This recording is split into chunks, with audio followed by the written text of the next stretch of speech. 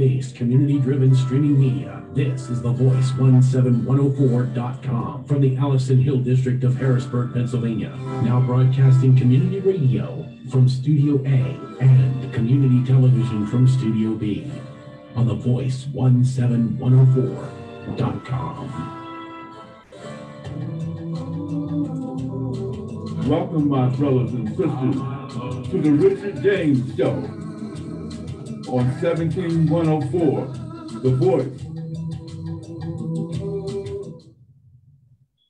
Greetings and salutations. Welcome once again to the Richard James Show. You know, at least once a month, I like to do a show on the motherland, Africa. I like to lift up icons, talk about situations that exist in Africa. Also, go back in the history of Africa. Uh, one notorious thing was the Berlin Conference that happened in the late 1800s, on which Belgium, Britain, Portugal, France, some of the other nations called themselves dividing up somebody else's land uh, between them. And the worst one, according to historical account, was Belgium. They were absolutely horrible. But today we're going to uh, deal with an individual who I've constantly admired for a long, long, long time. We're going to look at the legacy and history of Kenya's Tom Mboya. Now, you've heard of a lot of African leaders, and some of you have uh, are really well versed in terms of individuals like Jomo Kenyatta, for example. Well versed in terms of Kwame Nkrumah, uh, Nelson Mandela, and many other great and formidable African leaders. Well, I'm going to lift up one of the founding fathers of African unity. A young man at the time who worked very closely with Kwame Nkrumah in the development of the African Union. And he himself, and he was very young at the time, he himself at the time was a union leader in Kenya. He is a Kenyan, born and raised in Kenya. And I had the fortune to be friends with his brother. Now, let me tell, me, tell you something that uh, Tom Mboya did. Tom Mboya had communication skills that were fantastic. And he was able to develop relationships with our civil rights movement. He was good friends with Reverend Dr. Martin Luther King. In fact, he attended a civil rights rally. You're going to hear some of this on a video that we're going to play. And he also uh, developed a relationship with John Fitzgerald Kennedy. Can you believe that? And he was concerned always with the education of African people, particularly his own. And um, one thing I think his brother may have been a part of that. What they did was lift up scholarships. And they had what was called an airlift. You're gonna learn some of this on the video. With 800 students going from Kenya uh, to the United States of America to get a wonderful education. Can you believe that? And that was back in 1959.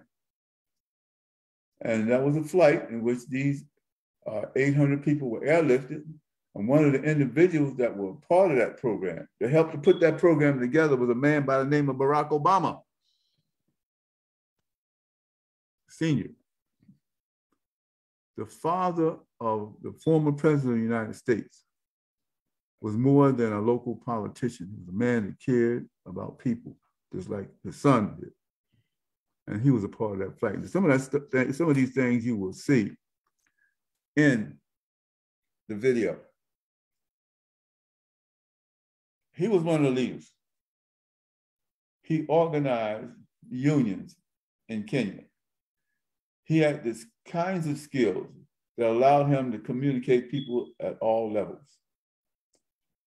And though he loved his people and lifted up the banner for freedom, justice, and equality for African people, he had no hatred, no hatred for Caucasian people. As a matter of fact, he was just the opposite. He said that anyone who called Kenya his home and is a citizen of Kenya has to be treated with equality, with dignity. And I totally agree with him. We have no place in this world for racism. We have no uh, place in this world for revenge. We want to lift up the banner of freedom, justice, and equality for all people. And this is what the man called Jomo, not Jomo, I'm sorry, Tom Mboya. That's what he did. I got to tell you something about, uh, and I may have mentioned this to you in the past, I don't know. But Swarthmore College, Tom Mboya's brother was a student at Swarthmore College. Uh, what was I doing at Swarthmore College? Well, I was trying to save up money to get in college myself. I was a busboy. I washed dishes. Don't feel shame about it. Langston Hughes was a dishwasher. Somebody that great washed a few plates. I don't mind washing a few plates myself. And I did, quite a few. And made some really, really tremendous friends washing dishes. And uh, I would talk to students. Whistle while you work, talk while you work. And Mboya was one of the friends that I had developed. And at the time, I lived in the city of Chester and I attended a church called Bethany Baptist Church. And Mboya went to church with me one Sunday morning. And he was absolutely thrilled. He said, Richard, he said, this is just like being home. I said, well, same people. Same people uh, in Chester, uh, in Nairobi, Congo. We are all African people. And though we may move across the ocean, we are still the same culture. We still uh, lift up uh, justice, freedom, and equality. He loved it. And he was just a great guy. We were friends. Something tragic happened later on. Eventually, and I'm going to say this and then I'm not going to tell you the whole story. Eventually, Tom Mboya was assassinated. People blame a lot of folks for that. Some people blame uh, Jomo Kenyatta. Some people blame uh, the white racists. Uh, there was a revolutionary group that existed during that period of time. Now, I don't want to just repeat what the uh, video is going to show you, but they call themselves the Mau Mau's. The Mau Mau. And white press depicted them as terrorists, as racist, and as very, very terrible people, in spite of the fact that their lands and their homes uh, were being destroyed by colonial enemies. And their riches have been robbed and drafted by colonial uh, individuals, but yet the, the person that fights for the freedom and tries to lift up the banner of freedom, justice, and equality are the ones that are blamed for their, for their problem. Kenya, very close to Ethiopia, very close to the uh, Sudan on the east coast of, uh, of Africa. It has a rich, rich history. And uh, Jomo Burning Spear Kenyatta, who was a member of the Kikuyu tribe, uh, worked diligently to free Kenya. And by the way, it's no small thing, but Jomo Kenyatta spent nine years in prison for fighting for freedom. And you're gonna tell me these colonials were the good guys? You come in, you steal my gold, you steal my land, you take over my country, and then you call me the bad guy because I'll run you out. I think if you only had good sense, you would do the same, and you would. Tom Mboya, known for his oratory, his ability to speak publicly, known for his ability to get along with people and to communicate with people. And they, these folks in America fell in love with Tom Mboya. They didn't like some other Africans, but one guy that they really liked was Tom and Joe. Because of those interpersonal skills that Tom had, he talked with people. He had no hatred in his heart for people. The only thing that man was freedom, justice, and equality. That was Tom Mboya, and that was Tom Mboya's uh, history. And if you read anything about Tom Mboya, that's what you're going to read. Well, I'm going to cut it off, and I'll be back. Uh, right now, we're going to do a video, uh, the Tom Mboya documentary. We have always stated that um, our independence cannot be complete if, in fact, there is any part of the world where the black man is not accorded his right.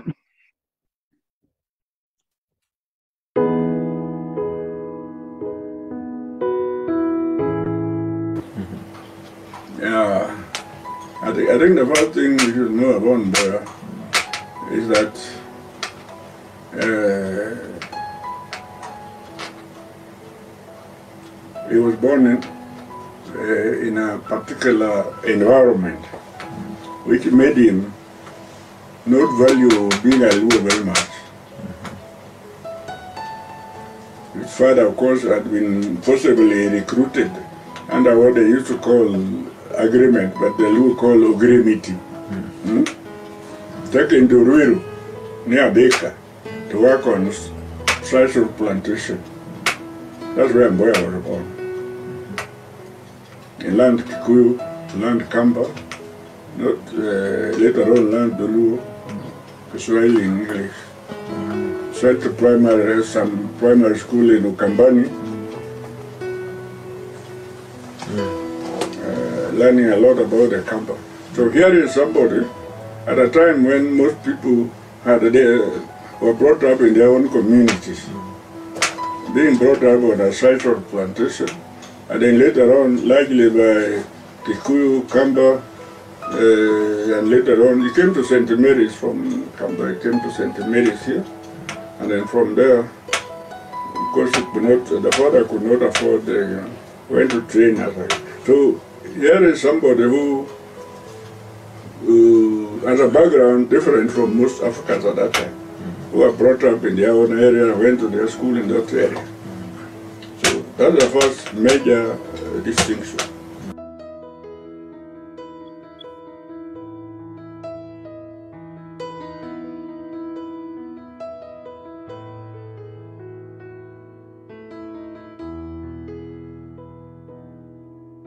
When he finished uh, training at uh, uh, as a sanitary inspector, I was employed by Nairobi City Council. That's the day time Mau Mau started. And most African leaders were arrested. Some detained, some killed. To Africans, the Mau Mau were freedom fighters, but to the Europeans, they were terrorists. For it is that band of fanatics whose bloody deeds have cast a dark shadow across the face of Kenya.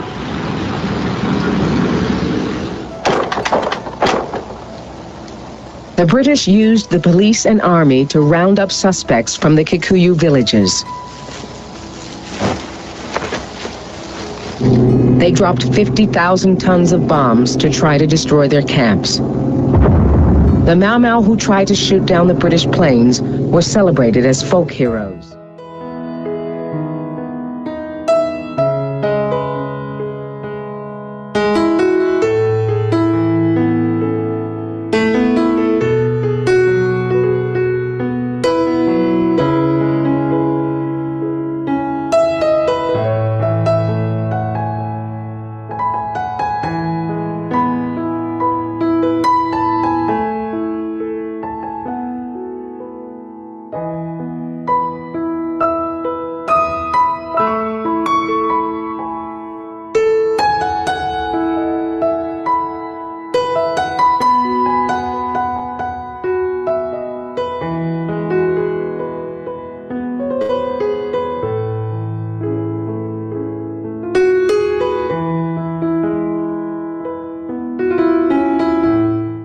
The Mau Mau concluded there was no alternative to violence. They used homemade weapons to terrorize European settlers, attacking isolated farmhouses and police stations. Many Africans opposed the violence, including Jomo Kenyatta. Despite a lack of evidence, he was accused of Mau Mau links and imprisoned. 80,000 suspects were detained and interrogated.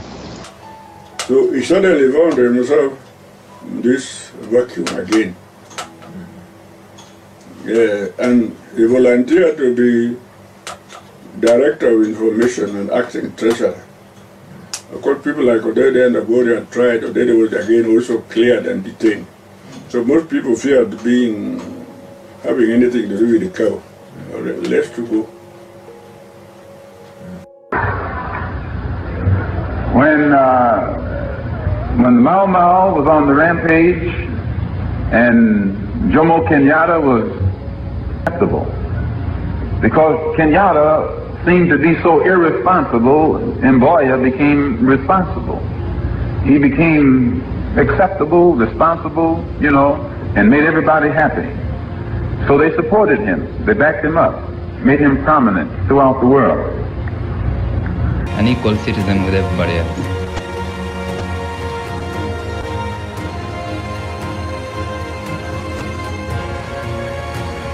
Well, Mr.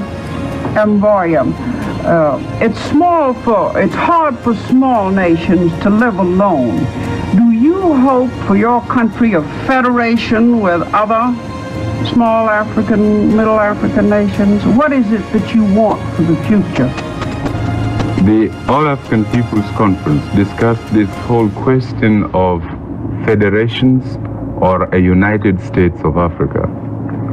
And we are being realistic in this matter by our decision at Accra that certain regions constitute workable units that might be treated together in terms of economic planning, in terms of various social or economic uh, programs, and also with the hope that in uh, trying to achieve this, certain political units could be created. We have as a long-term objective the possibility of a United States of Africa. Would you affiliate with the Arabs or the northern half of Africa?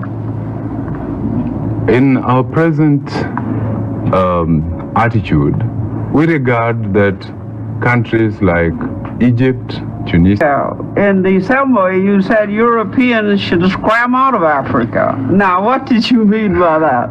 I am very glad that you raised this point because I think it is often difficult for us to be uh, sure that we are correctly reported. And I want to take this opportunity to say exactly what I said. I said at Accra that in contrast to the 90, uh, to the 1884 Berlin Conference, the Accra Conference was convened to unite Africa to create the African community. And whereas the Berlin Conference started what history has referred to as the scramble for Africa, in Accra we were meeting to state in definite terms to the colonial powers, not European individuals, to the colonial powers that they would have to scram out of Africa. I have also heard you reported as saying that you are not for Africa for Africans only, that all would be equal before the law. Is that true? This is true, except I want to qualify that statement by saying, whereas Africa for Africans is quite uh, a logical and uh, a satisfactory phrase to use, the qualification is that it is dependent on one's def- To take on a new role, to stand for the things which,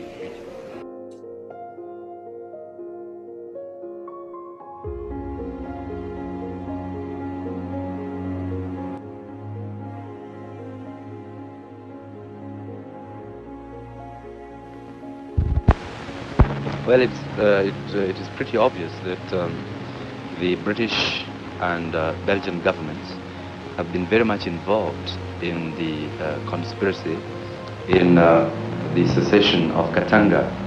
It uh, appears to us uh, those of us who have uh, looked at the Katanga situation, that the British and Belgian governments, including the French government to some extent, and Portugal, are very much interested in safeguarding the various interests, financial and business interests, mining interests in Katanga, rather than in the protection and safeguarding of the national uh, security and unity of the Congolese people. Now, sir, uh, you as a leading uh, Pan-Africanist have always objected to foreign interference in Africa. Now, wouldn't you say that the United Nations campaign against Katanga and against Mr. Tshombe amounted to foreign interference? Not at all. On the contrary, the United Nations was invited to the Congo by the central government. This, the United Nations did not intervene until invited. And at present, they are acting in the Congo, firstly on the advice of the African states at the United Nations, and secondly, on the advice and in consultation and cooperation with the central government of the Congo. Our criticism has been that the United Nations has been restrained too much in its act actions in Katanga by world powers. That again includes Britain, Belgium, France.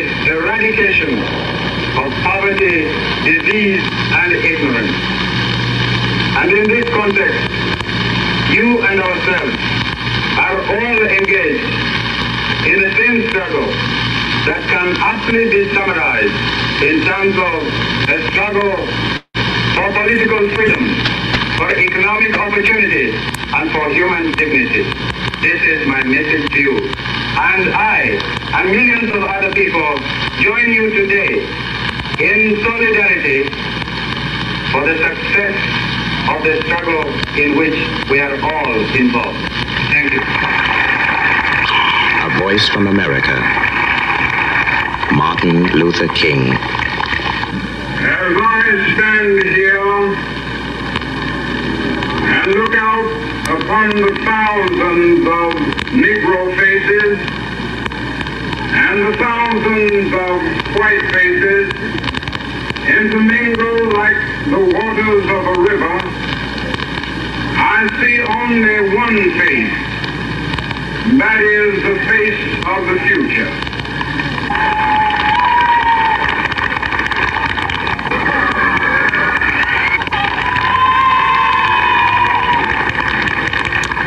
Yes, as I gaze upon this great historic assembly, this unprecedented gathering of young people, I cannot help thinking that a hundred years from now, the historians will be calling this not the beat generation, but the generation of integration.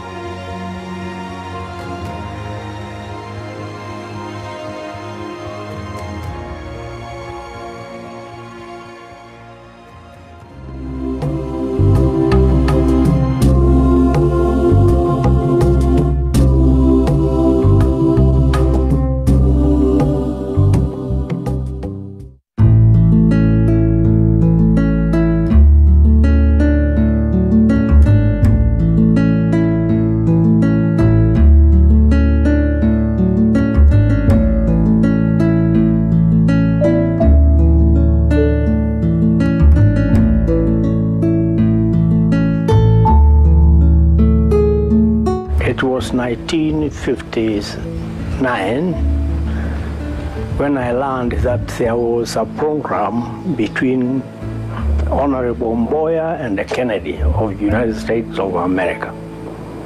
I didn't know what to do when I was taking my studies.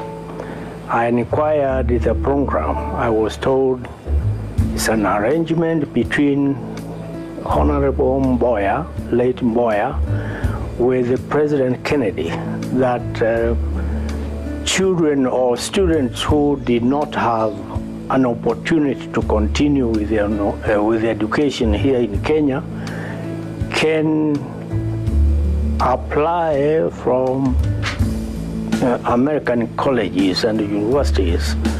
And when they are admitted, the Kennedy's family will airlift the students to America.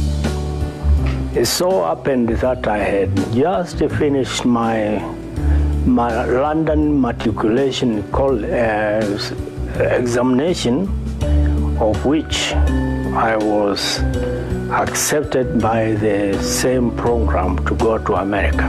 We were picked from different areas and we met in the plane. And it was difficult to know who is who going where.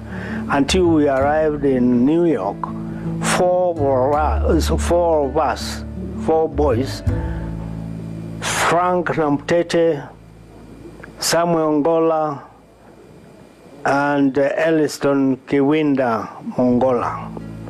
And by we were uh, announced to be boarding to Little Rock, Arkansas.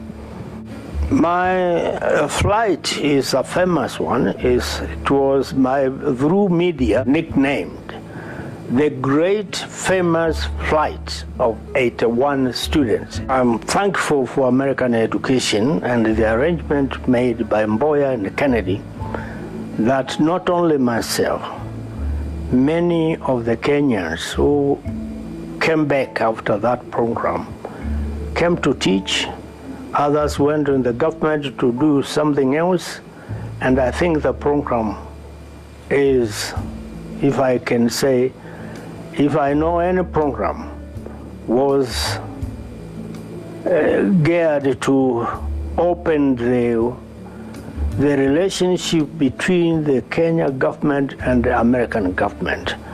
And today we are proud to say from 1959, because I traveled with a gentleman called Obama, who is the father of the President of the United States, the program can continue if I may uh, be asked.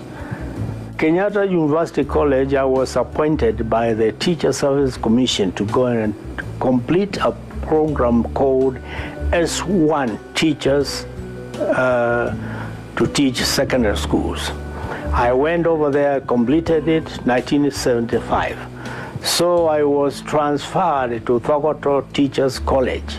Thogoto Teachers College, I have taught 13 years. That's where I was as a lecturer, uh, chaplain, and the head of religious department for 13 years. Then I retired.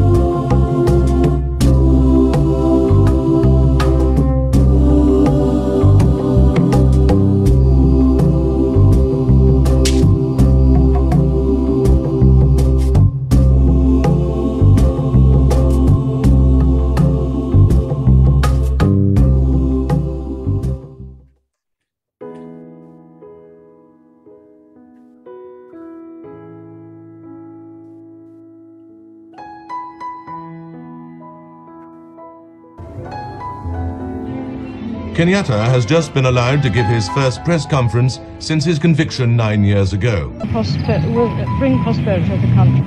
As long as I can see, Northern Frontier is very behind. I don't, I don't think Kenya is able to get independent at this moment, but unless another 20 years' time. Yeah, in next year, and Kenyatta must be released immediately. Anytime, even now, if possible. Anytime at all? Anytime. Well, I think as a businessman, and I think I can also talk for the majority of other business people, well, the sooner the better. But of course, there is a big if about it. We've got to have responsible people that are fit to govern us. For the moment, the crisis seems to have eased. But among the white settlers in Nairobi and the surrounding countryside, the memory still remains of the 95 Europeans and hundreds of Africans who were hacked to death in the days of Mau Mau violence. If Europeans stay on, will there be more violence? If they leave, will there be another Congo? At both ends of the scale, views are strong, feelings run high.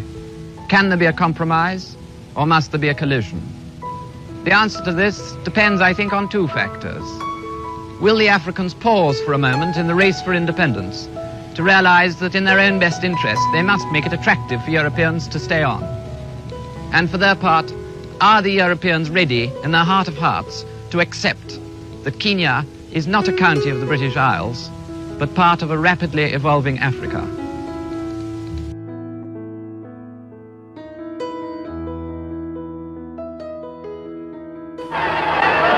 Last here comes Kenyatta, flown from detention in Maralal and driven on the last stage of his journey in a police vehicle.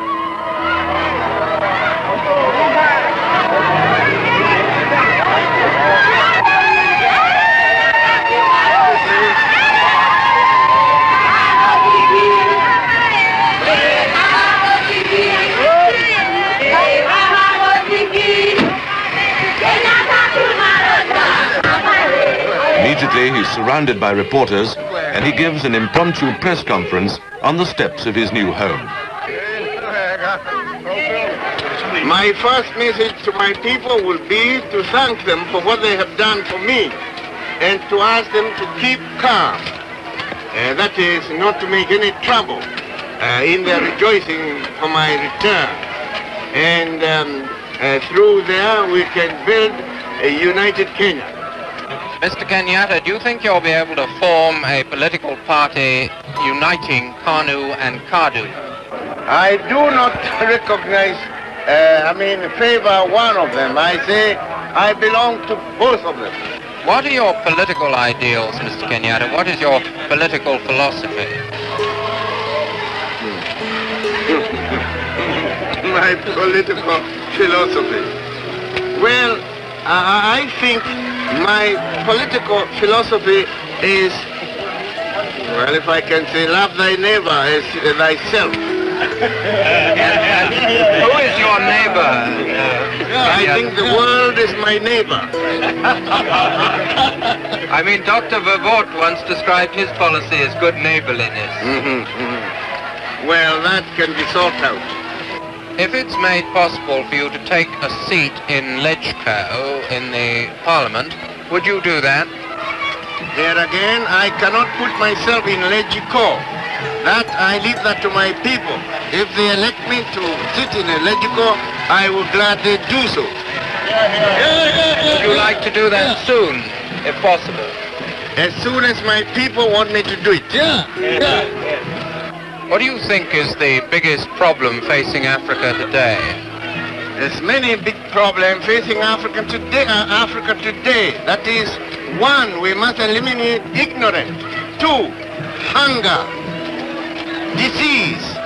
Those are the, um, I mean, many other uh, problems, but I think those are the uh, most important. Kenya is a poor country, and its best future probably lies in the idea of an East African federation with Uganda and Tanganyika and possibly Zanzibar.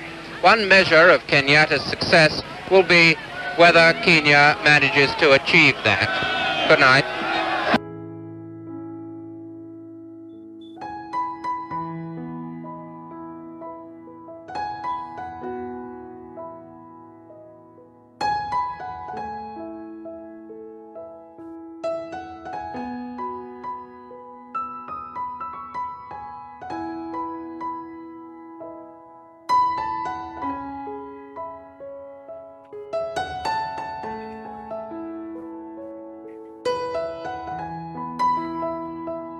Lancaster House has staged many colonial conferences, but this was the first one with picturesque touches. Headdresses with lion's mane cloaks indicate the importance of the tribal leaders. The conference discussed the future of Kenya. Jomo Kenyatta, perhaps the outstanding African in his country, desires a central government. Mr. Ngala, his chief opponent, prefers a federation of regions not dominated by the Kikuyu tribe. The present governor is Sir Patrick Renison. Colonial Secretary Reginald Maudling hopes for a constitution that will guarantee equality before an impartial law, as well as freedom from fear and oppression. Gentlemen, this conference is of crucial importance to the future of Kenya. Upon the degree of our success or failure will depend the well-being, the livelihood, and perhaps even the physical safety of all the citizens of Kenya of whatever race or creed. This is the measure of the responsibility that now rests. We have certainly not solved the problems of Kenya, but I believe we can claim that this conference, by reaching this agreement, has made it possible to find a solution to the problems of Kenya.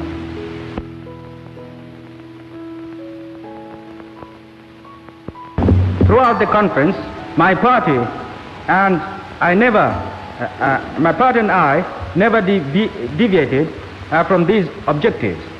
And our primary concern at every moment has been the future welfare of our country, economic, political, as well as social welfare.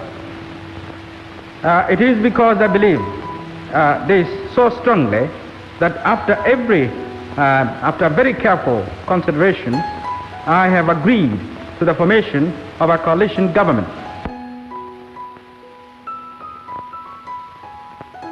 Looking back today, I am glad to be able to say that KANU is proud of its contribution at this conference.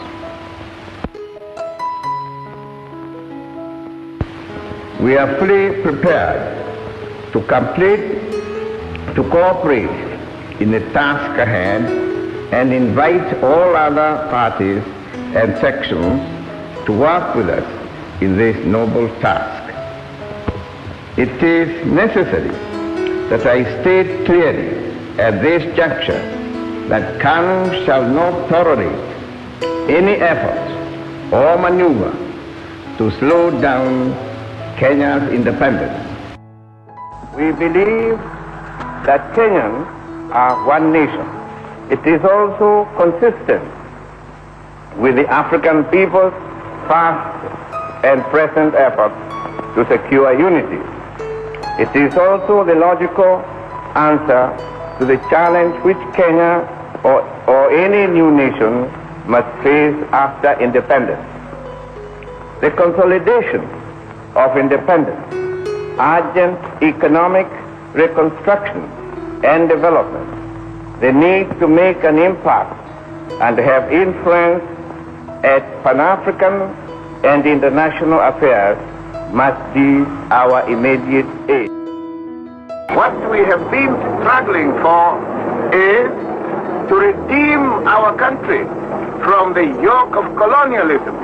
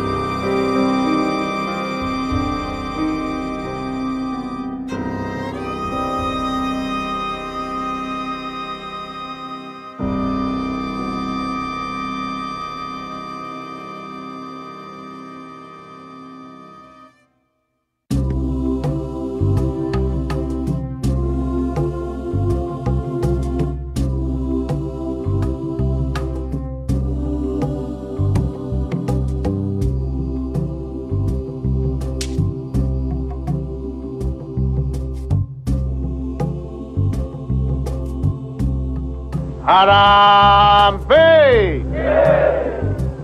Harambe! Harambe! Na mashamba yetu harambe!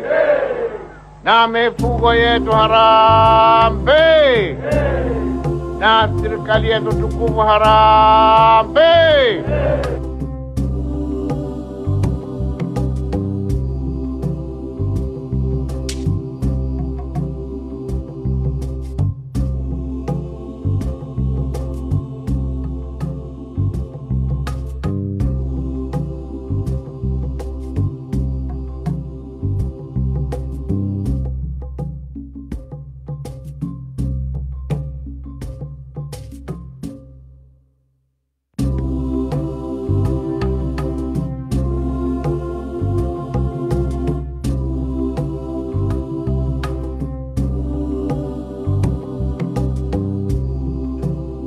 Well, we inherited a certain situation. It is not of our making. For example, most of the uh, good farming land in the highlands was reserved originally for European farmers. So we have to bring Africans into this area.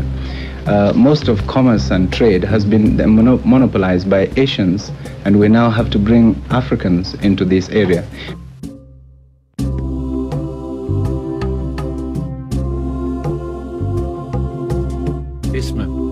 Well, this expression cannot just be defined in one word because uh, it represents a lot of things.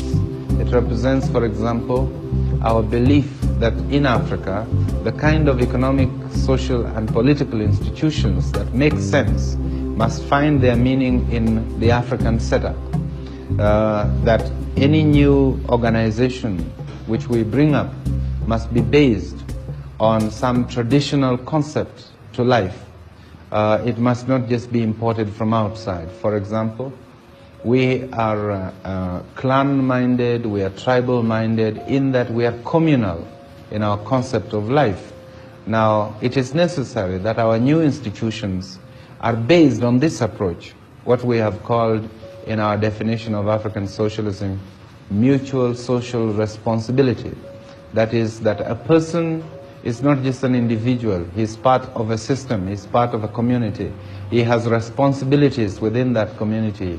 He has duties to perform in that community. But in turn, the community has also got responsibility to him. They have duties towards him and his children. Um, this is a very important concept. The other concept is that every person has got equal value and, and worth.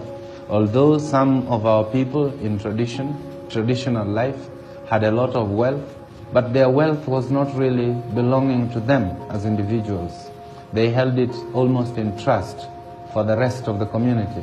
And when any of the members of the community got into trouble, or when he wanted um, uh, cows to pay dowry, he always looked to this as a position which he could also have access to. So that there is this element acknowledging individual freedom, justice, and equality.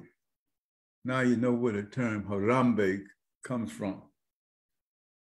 We have a church, uh, Kingdom, Kingdom Assembly, that was once called Harambee. They once had a very, very strong mission in Kenya. And I see where they learned the term. Tom Mboya left his earmark on the legacy and the history of his homeland and also the world.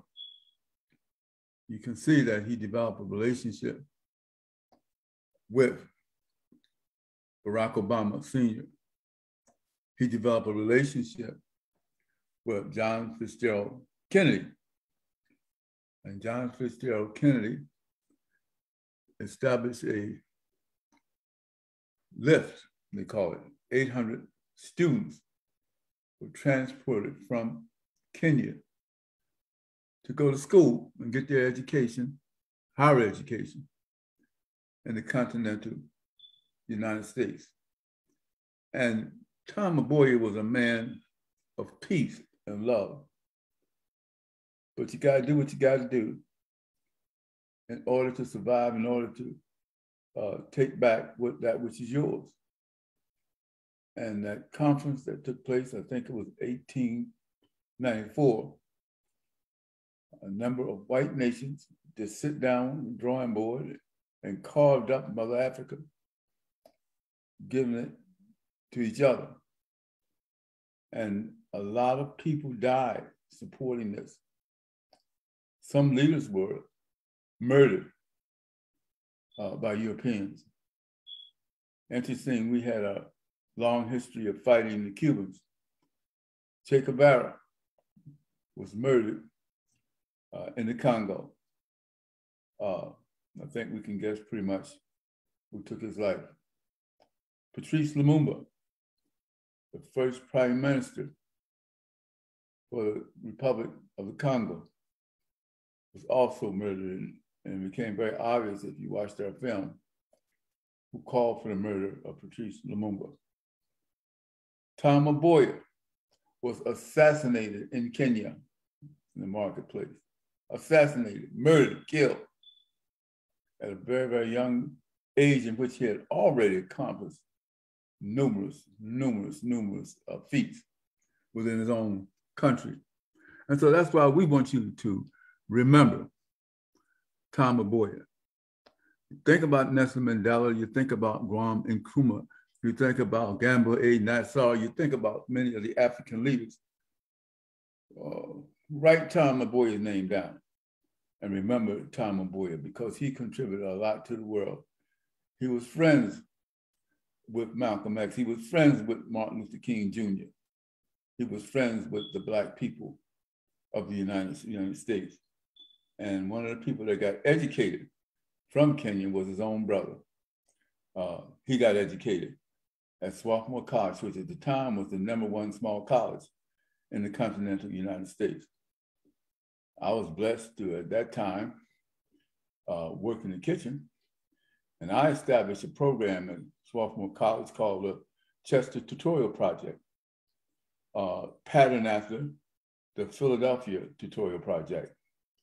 And I hired students in Harlem, uh, uh, uplifted students that tutored kids in Chester one on one, sometimes two or three, uh, and the Chester Tutorial Project. And out of that program came an organization called Upward Bound, which was funded throughout the country. And many students from different parts of the country uh, were able to go to college based on the kind of tutors that they got from Upward Bound. And one of the people that came to Chester with me was Tom Mboya's brother. I will never forget him. I will never forget those wonderful, wonderful days. And by the way, uh, we're coming down to the uh, end of our program. And I try to uplift for you uh, my business, which helps to support this broadcast and other things that I try to do, called African Paradise. And I reunited with an old friend of mine. Uh, and this is this is a picture of my uh, stand. And you notice here we have uh, statues that are from Africa, big, huge statues. We have uh, original, original, original paintings. Uh, we have tall, tall uh, giraffes. We have oils come visit us down there. We need your help and we need your support. But this is African Paradise, uh, located at 35 South 8th Street in downtown uh, Lebanon. And we welcome you, we welcome you. And if you like African clothing, of which I'm wearing a, a dashiki at the time, we have suits, we have dashikis, we have the whole nine yards. And you know, our ultimate goal, and I say it straight up on TV, uh, I had for several years I had an African museum uh, in Middletown and also had one down on Third uh, uh, moved to Third Street. Uh, and I want to reopen my African museum. In that museum, we did uh, lectures, we did tours of the museum and brought students in, and we had some of the most beautiful artifacts that you ever want to see. And we're just getting in a lot of new, new artifacts, and you're gonna love it. You're gonna love it. Just come down to see me. We're open uh, Thursday mornings at eight o'clock, uh, eight to five thirty. Uh, Friday from eight to five thirty. Saturday from seven to three o'clock. And just look for African Paradise. We're right next to the front door. And if we don't have it, we can get it. Because we believe in uplifting the culture, uplifting our people. And uh, it doesn't matter what your ethnicity is. Uh, we have a lot of uh, Caucasian women that come and love our cap kings. They're loose fitting, they're multicultural, and they don't have a uh, an ethnic group written on it. Anyone put it on, it's gonna look good.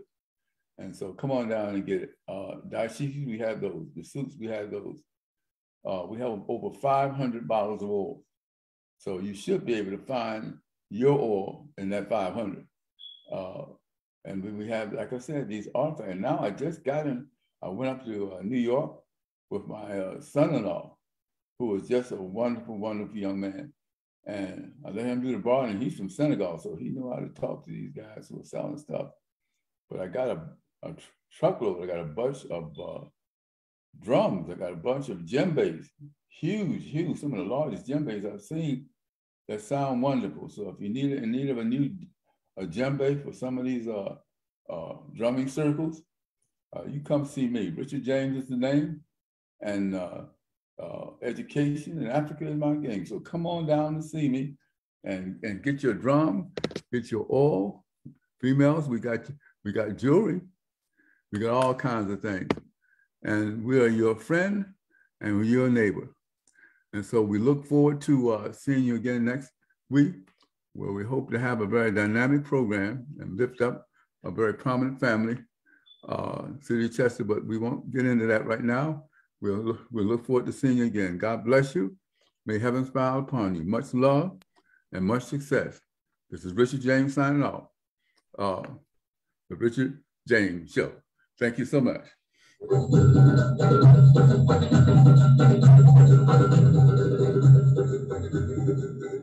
Thank you again for tuning in to the Richard James Show. Our African and our African American programs are set up to educate you on what's going on in this world. We thank you for taking out the time to listen. Let us hear from you sometime also. So this is your neighbor and your friend signing off. And so I'll see you again next week and hear from you again next week. So long. God bless.